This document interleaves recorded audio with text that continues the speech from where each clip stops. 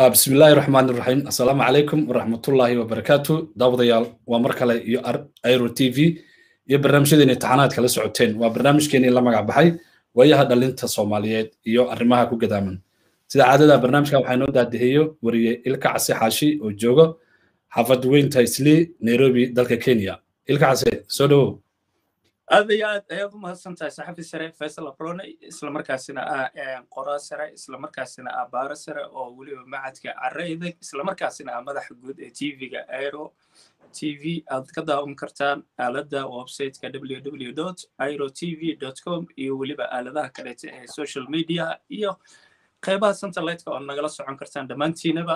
Waxaan leeyahay mar kaleeto kulanti wacan waa barnaamijkeenii waayaha dhalinta ee aadab ay inoo soo wada diyaariyaan si wada jira saxafi sarafis labroni anigoo ilka casaa maanta waxaan fiirinaynaa qaybtiisii saddexaad ayaan gudagelaynaa barnaamijkeena oo barnaamij aad u qiimo badan ah islamarkaasina siro badan oo dadka soomaaliyeed ka qorsan islamarkaasina ina ka warhayn aan ku soo bandhigno. Waa tahay qaybtiisii labaad ee waxaan maraynaa dadka loo yaqaano buuraleyda bariga afrika ama buuraha isku xiriiran ee bariga afrika.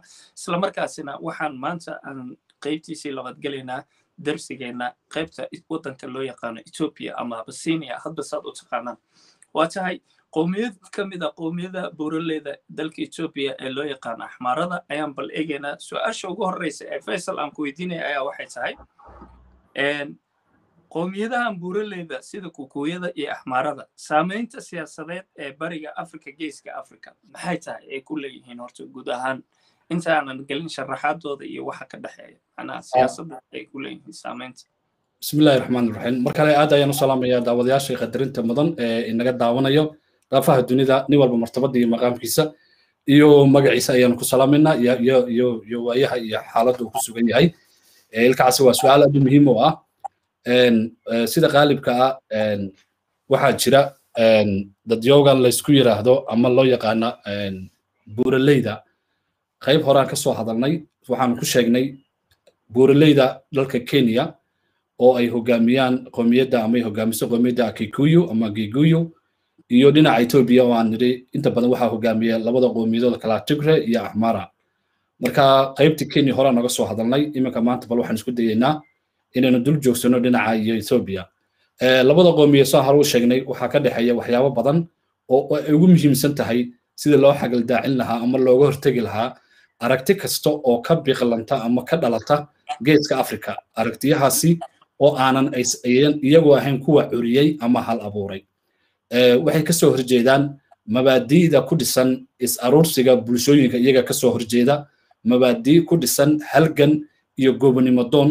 Waxay ka soo horjeedaan mabaadi' ku dhisan dadyoogaasi inay dhaqankooda iyo diintooda ee iyaga isku maamulaan. Waxaasaa ka dhexeeya.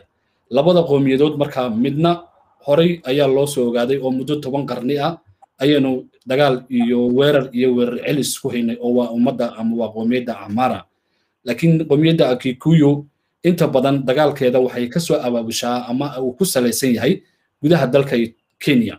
Laakiin axmaaradu siyaasaddeedu way soo gaadhay ilaa iyo gudaha soomaaliya iyadoo adeegsanaysa dadyo kala duwan iyo gaar ahaan bulsho soomaaliyeed oo ama madax soo noqday ama ciidan soo noqday ama siyaasiyiin soo noqday intaba. Marka waa aragti ka timid hinaase iyo laablakac iyo uquuriwaa loo hayo guud ahaan bulshada soomaaliyeed ee geyiga ama dhulka ay degan tahay. Waa aragti marka ugu horreysa ka soo maaxatay colaad dhex martay xaamiyiin iyo saamiyiin.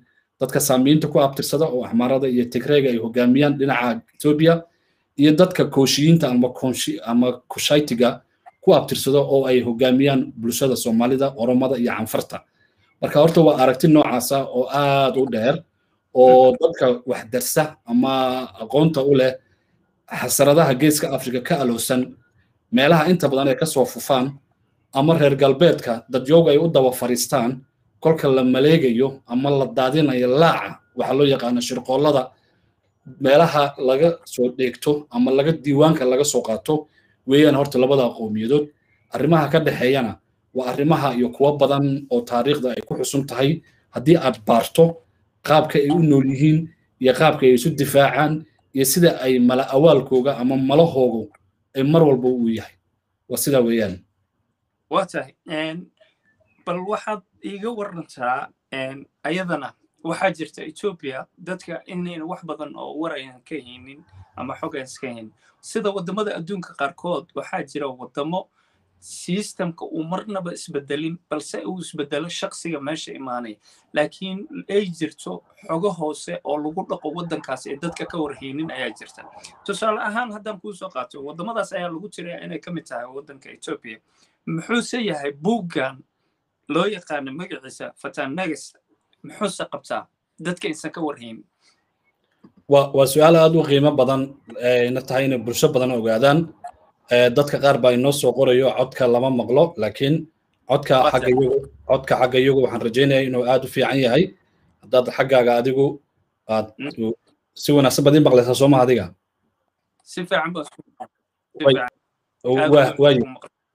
Waa yahay. ilkacse waxa weeyaan waxay su'aal aad u muhiima haddii weydiisay. Buuggan loo yaqaano fatahanagas ama fatahanagas waa buug guun ah. Waa buugga qoomiyadaha etoobiya ama maanta waddanka etoobiya loo yaqaan. Waa buug ay u hoos fadhiyaan nidaamka shuruucda lagu dhaqa dalkaasi. Waa buug nacamtiye ay tahay inay ogaadaan dad badan oo soomaaliyeed oo jecel inay wax ka ogaadaan awaamiirta dalka etoobiya iyo noloshiisa iyo heerkuu soo maray. Waxaad moodaa inay eko igu furan tahay haddii ay wax kugu furan yihiin adiga xaggaaga ilkacse isku day inay wax kala furan yihiin xaggaaga. Aniga dhinacayga wax walba waxay sheegayaan sidii loogu talagalay. Ma garanayo laakiin dadka haddaan fiirino dhinaca kaleeto isku dayno inaan fiirino codkeena in la maqlayo in kale. Hal maraan isku dayno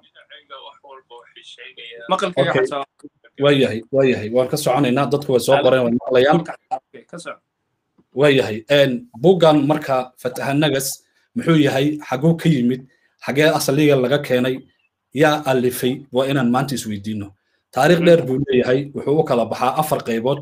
Marka qaybo kale aan ku dhigan doona laakiin maanta waan dul maraynaa buuggan fatahanagas asliyan waxaa sameeyey nin la yidhaahdo cabdulfadil ibnu alcasal alcarabiya oo masar oo masri ah ama qaybdiyiintii dadkii hore ee reer masar ahaa ama reer khimid dadkaasi nin ah ayuu ahaa.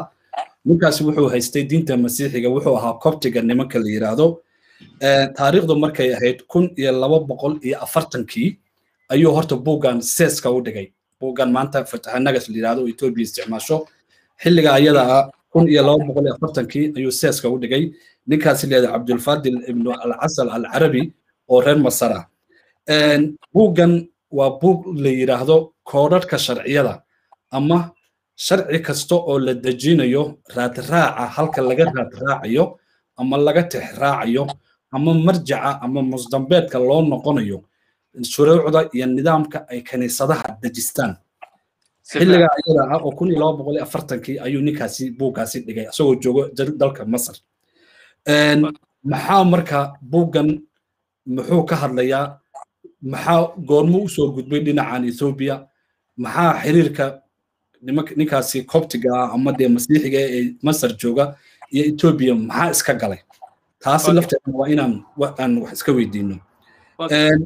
Waxaa dhacday xilliga ayada ah baahiyo badan oo waxaa jiray dadka masiixiyiinta ah ay u qabeen in ay ku cadaadiyaan ummadaha islaamka ee adduunka markaasi ka jiray qaaradulqadiim yani africa iyo asia markaasi awoodda islaamku jirtay.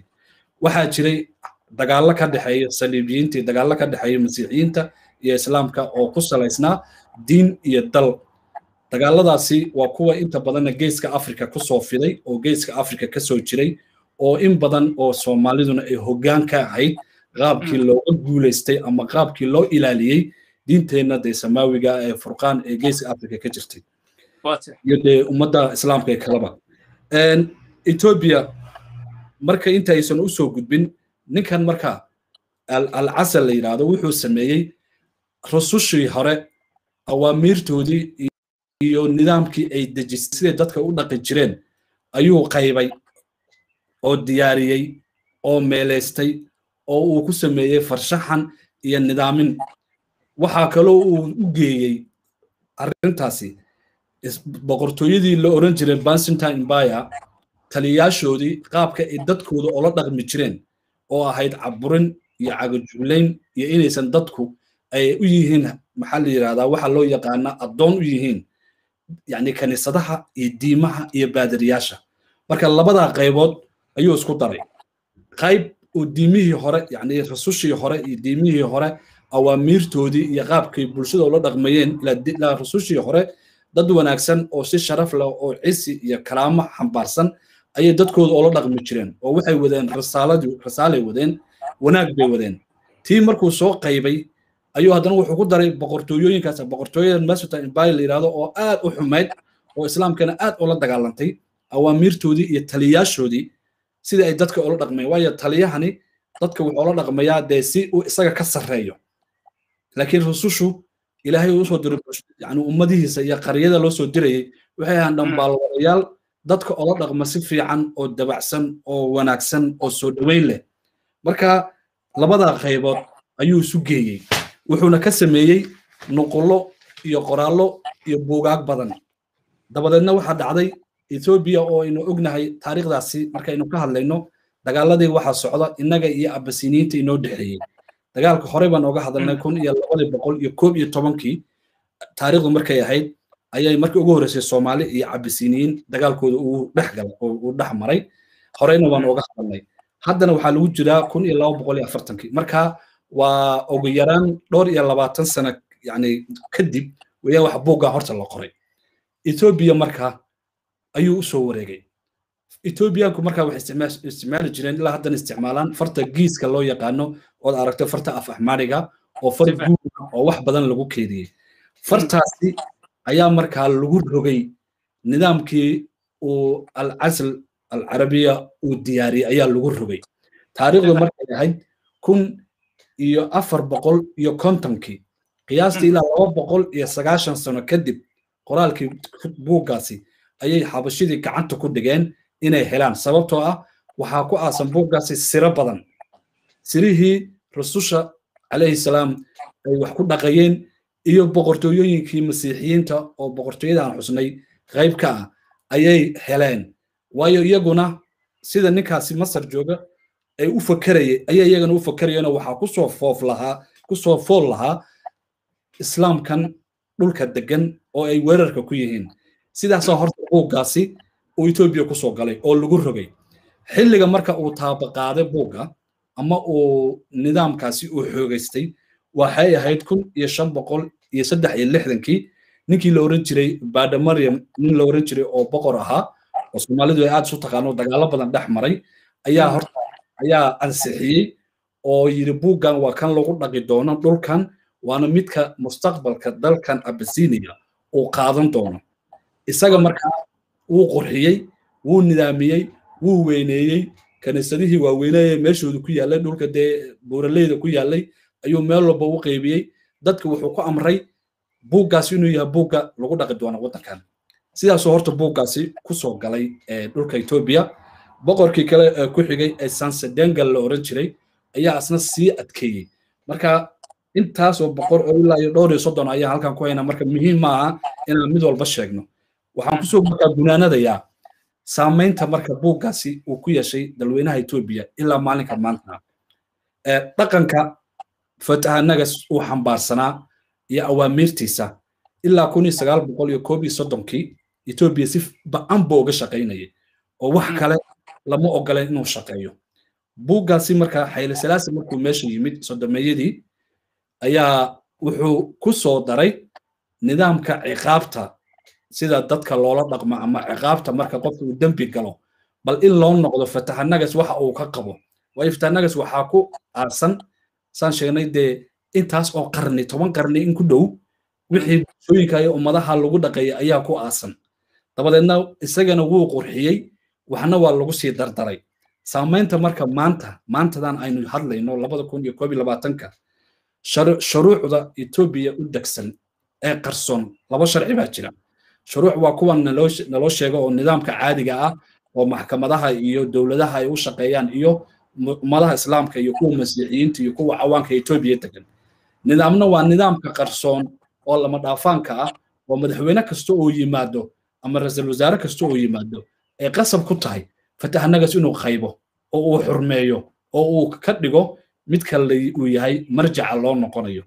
Buuggan horta waa noocaasa wax badan oo kalena way jiraan insha allah marka dib baan inta kalena ka sheegi doonaa barnaamijyadeenna dambe hadduu ilaa yidhahdo waa tahay faysalo su'aasha kaleon ku weydiinaya waxay tahay inkastoo adigaba aad sheegtay macnaha dadka waxaan rabnaa inay si fiican u fahmaan.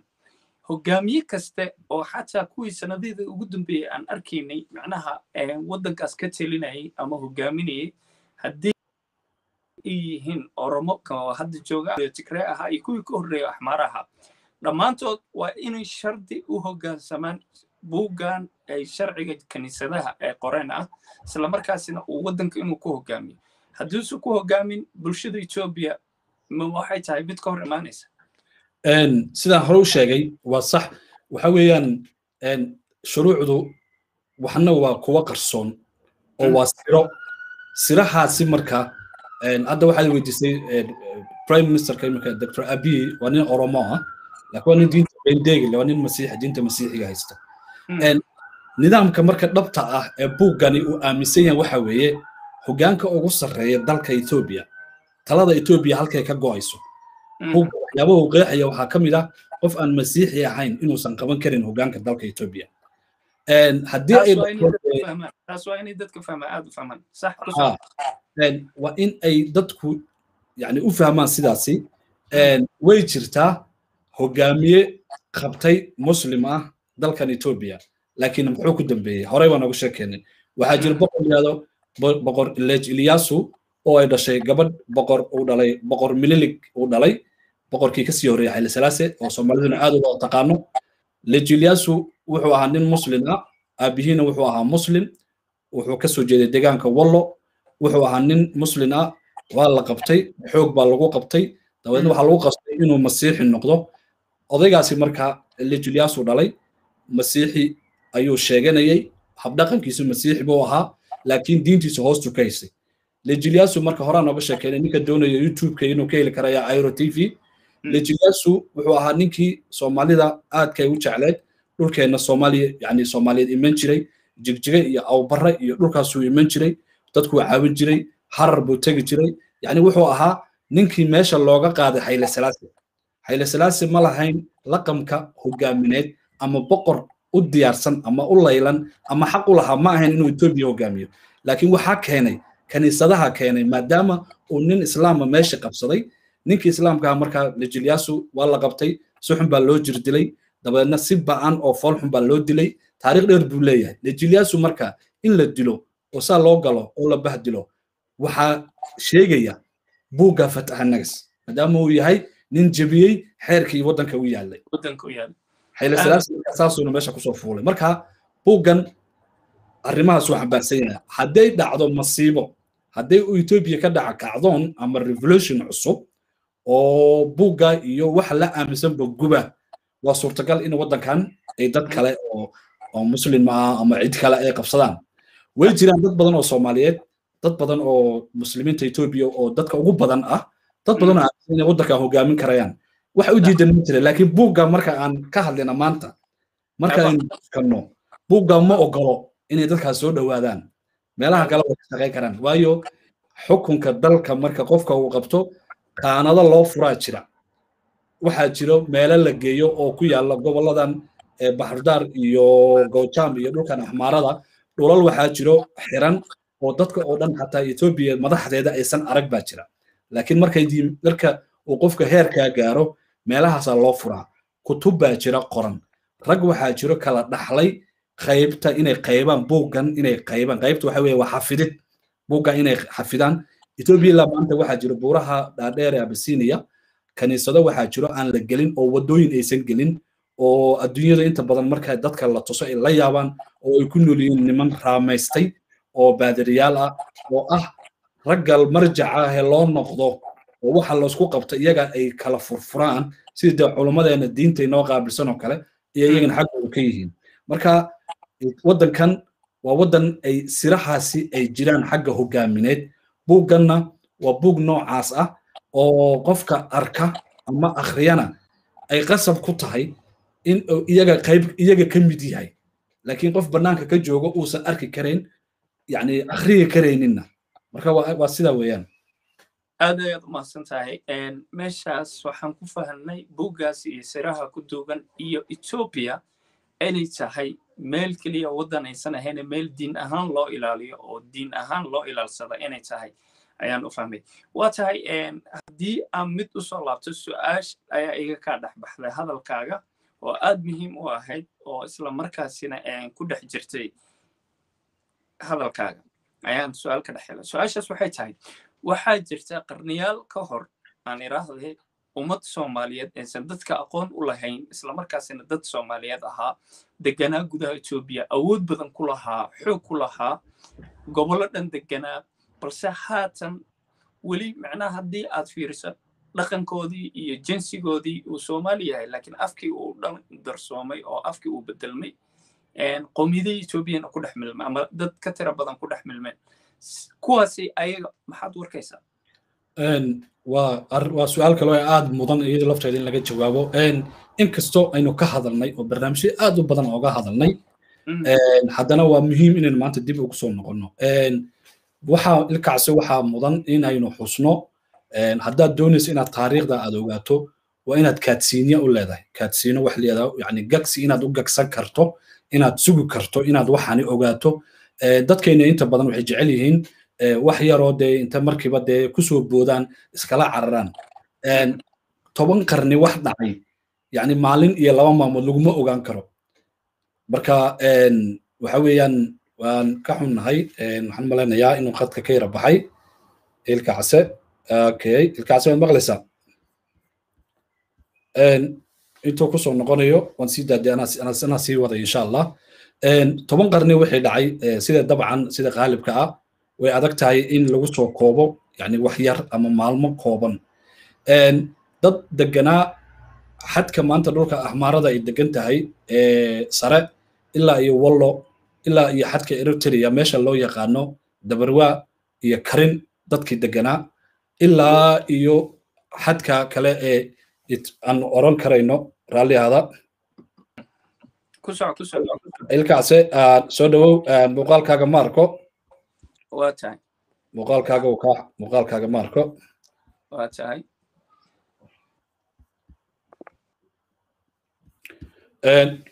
Raalli ahaada dadka inaga yar xun dabcan barnaamijkeennii ayaanu sii wadi doonaa waayaha dhalinta iyo waaye arrimaha ku xeeran oo aanu weli guda jirno su'aashii uu ilkacsiina weydiiyey ahayd dadka soomaaliyeed ee dhalan rogmay ee qaybka ka ah maanta qowmiyadaha badan ee dhulweynaha etoobiya maanta loo yaqaano ku nool ayaanu gunti kaga jirnaa. Inkastoon horey u sheegnay on barnaamijyo badan oo iro t v ka baxay ama youtubeka iro t v aad ka heli karaysaan haddana waa muhiim inaynu mar kale haddana dib u xusno. Dadyooga marka aynu niri intaasi ilaa kun iyo labada boqol iyo koob iyo tobankii dagaalka ay soo bilaabeen ee degan xadka axmaara ilaa iyo maanta dhulka canfarta ilaa iyo koonfurta etoobiya ilaa iyo xadka meesha loo yaqaano mombasa ee dadka halkaa degan oo dagaalna uu ku socday abaaro ay u dheeraayeen xanuuno ay u dheeraayeen. Qasab waxaa noqonayso inay ku dhaco waxa loo yaqaano dhalanrag bulsho. Dhalanragga dhalanragonka bulshaduna raalli ahaada. Waryeelkacse laguma arkayo hallo waa hagaag hallo waad maqlaysaa ilkacse waa ka xumahay mar kale waa uu ka go'ay. Waxaan sugaynaa intuu soo yaro noqonaya insha allah intuu soo noqon wayna barnaamijkeeni waan soo afmeeraynaa oo qaybtan ayuun baynu maanta ku soo gunaanadi doonaa insha allah si aanu marka qaybteena kalena aanu xilli kale ama mar kale ugu dibdhiganno aan ku soo dhowaado marka daawadayaasha qadarinta leh ee golaha ku jira ama onlineka ugu jira. Dhammaantiin waa idin soo dhoweynayaa mar kale. Hallo warkaase way maqashaa sooma waa ku maqlayaa muuqaalkaaga ma arko. Waxaan rajaynayaa in khadka uu inaga xun yahay markaa waynu soo afmeeri hadduu ilaah yidhaahdo haatan may weli muuqaalkaaga lama arko. Waynu soo soo afmeeri insha allah barnaamijka.